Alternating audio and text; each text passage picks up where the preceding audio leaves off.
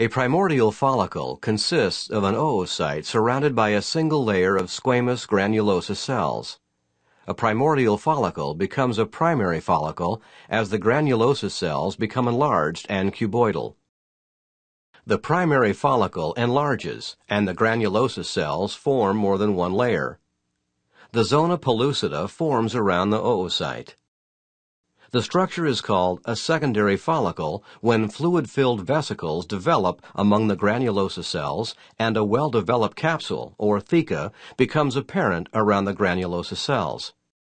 The theca possesses internal and external layers. The structure is called a mature follicle when the fluid-filled vesicles form a single antrum. At full maturity, the oocyte is located in the cumulus mass.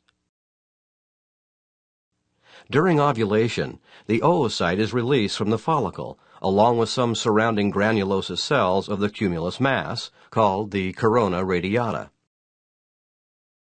Following ovulation, the granulosa cells divide rapidly and enlarge to form the yellow corpus luteum.